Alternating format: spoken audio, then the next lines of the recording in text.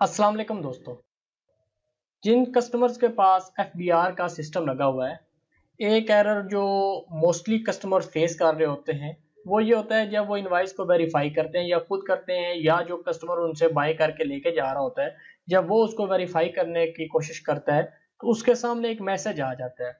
वो मैसेज क्या है? वो मैसेज ये आ जाता है आपके सामने invoice already submitted but not get verified इसका मतलब ये होता है कि इनवाइस आपकी वेरीफाइड नहीं हो रही। अब जिन कस्टमर्स ने सॉफ्टवेयर लगवाए होते हैं, वो ये समझ रहे होते हैं शायद ये सॉफ्टवेयर का एरर है। तो हालाँकि ये सॉफ्टवेयर का एरर नहीं होता।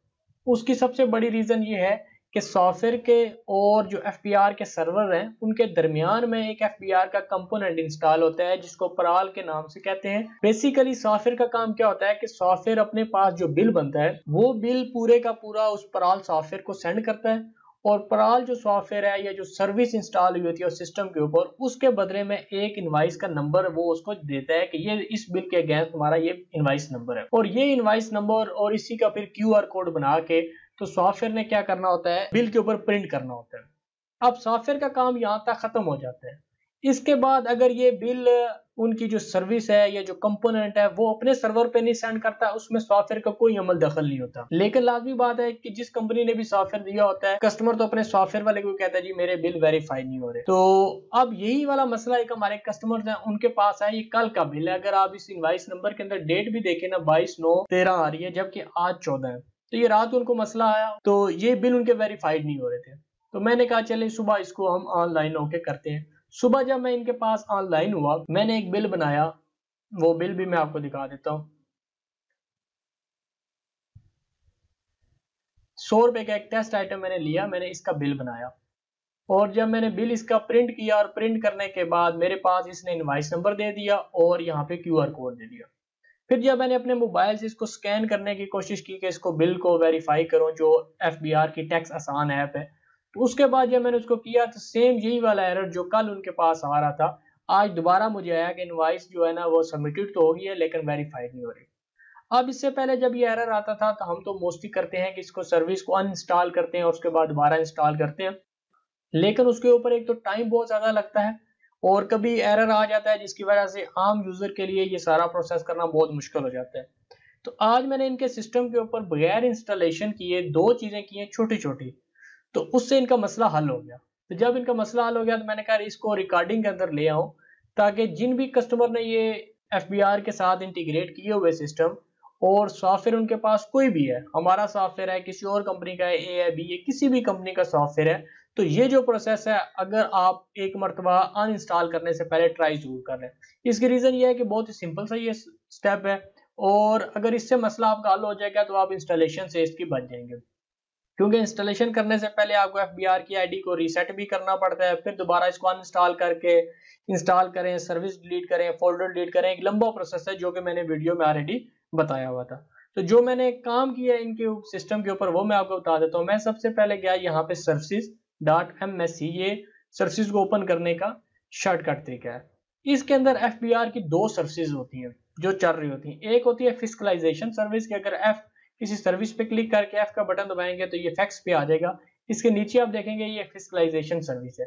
तो मैंने सबसे पहले इसको क्या किया? इसको मैंने किया स्टॉप ये मैं दोबारा यहाँ पे आपको करके दिखा देता हूँ। ये मैंने इसको किया पहले स्टॉप सबसे पहले मैंने यही किया और इसके बाद मैंने इसको किया स्टार्ट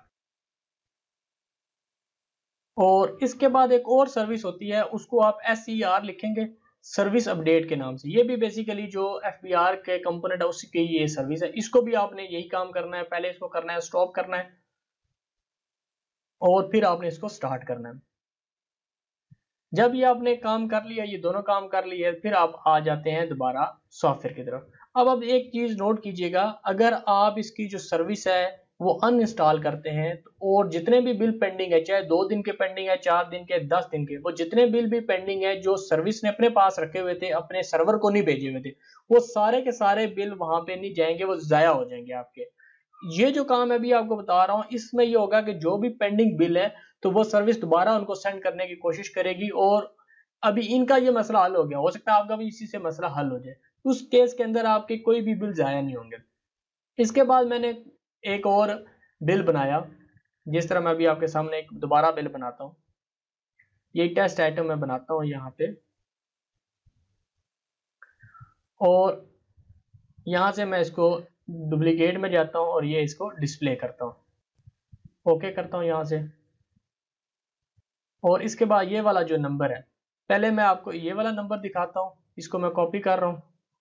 इधर मैं अपने सिस्टम के ऊपर E dot F B R dot G O V dot P K open करता हूँ और यहाँ पे वेरिफिकेशन में जाके इनवाइस वेरिफिकेशन दो तरह के आपके पास ऑप्शन मौजूद हैं वेरिफिकेशन करने के लिए। एक आपके पास है टैक्स आसान ऐप जो आप मोबाइल से कर सकते हैं, और दूसरा ये आपके पास ये वाला है इसके अंदर से आपने यहाँ पे ये ख़त्म कर देना है। और ये जो आगे कोड है, ये करना है two eight nine one four six आप इनवाइस सेंड होने के कुछ लम्हे बाद कीजिएगा, क्योंकि हो सकता है कि आप जल्दी करें तो वो आपकी इनवाइस वेरीफाइड ना हो। अब ये देखें कि ये इनवाइस उनकी वेरीफाइड होगी। ये तो डेट थी आज की चौदह की। अब जो उन्होंने मुझे भेजी थी यहाँ, कल की जो वेरीफाइड रात सारी नहीं हुई, सुबह तक भी नहीं हुई थी। तो इसको जब मैंने रीस्टार्ट किया और ये जो इनवाइस का नंबर है, ये नंबर मैंने यहाँ पे लिख लिया है। इसको आप बेशक मैच कर सकते हैं। इसको जब मैंने दोबारा कॉपी किया और यहाँ पे मैंने इसको डाला।